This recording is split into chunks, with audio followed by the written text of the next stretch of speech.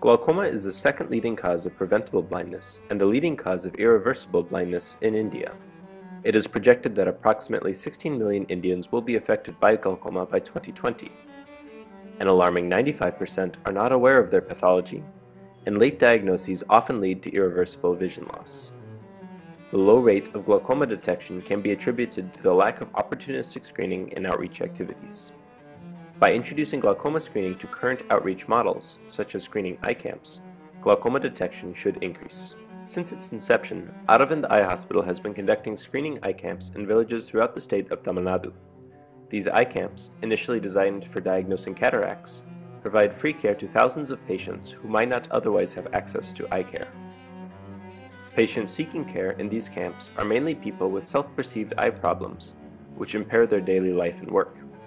Thus, we would expect that this patient population would have high numbers of ocular pathology beyond the common conditions such as cataract or refractive errors. Tonometry alone, the method currently used in the camps, is a highly ineffective method of screening for glaucoma, as 75% of those with elevated eye pressures do not have glaucoma, and 50% of glaucoma cases present with normal IOPs. In addition, the high volume of patients who need care in a short time interval is always a challenge for effective and comprehensive screening. In Aravind's base hospitals, physicians have access to several modern tools that have a much higher specificity for glaucoma than a tonometer alone. But these tools have until recently been too cumbersome to transport to the remote areas in which the screening camps are held. However, recent advancements in technology have afforded us the ability to bring these devices into the field. We are developing a new screening methodology for glaucoma in these camps centered around four tools. A Perkins tonometer, a handheld slit lamp, a handheld fundus camera, and a tablet application that tests visual fields.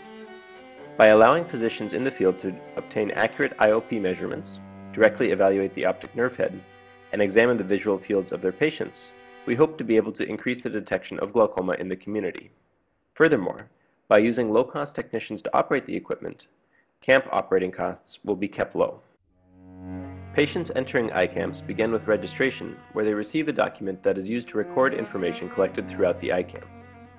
Next, each patient has their vision tested. A physician follows this with a preliminary examination using a flashlight and a handheld slit lamp. It is at this step where patients may be diagnosed with cataracts. Patients over 35 without significant cataracts receive the additional screening steps. These patients will have their intraocular pressure measured by Perkins tonometer and also undergo refraction by an optometrist to assess visual acuity. Next, the patients have their fundus photo taken by a handheld fundus camera. The handheld fundus camera enables non-mydriatic eye fundus examination with a wide 4D field of view. Both still and video images of the optic disc, macula, and retinal vasculature can be obtained and documented. This device, operated by a technician, is easy to use and images can be quickly transferred to a laptop wirelessly or via memory card. Finally, field testing is done on a tablet. The current app used is named Visual Fields Easy and can be downloaded for free from iTunes. This app uses a suprathreshold method of visual fields testing to detect gross abnormalities in a visual field. This app takes about 3 minutes per eye and assesses a wide field of view, 30 degrees from fixation horizontally and 24 degrees vertically, and approximately 24 points in all four quadrants. Patients then receive a final consultation from the physician, and any glaucoma suspects from these tests are counseled and referred to a base hospital for further examination and management. By adding and modifying various steps of the traditional eye camp model, Along with introducing updated technology, we hope to better diagnose patients with glaucoma at an early stage to prevent needless blindness. Our ongoing pilot study is showing promising results.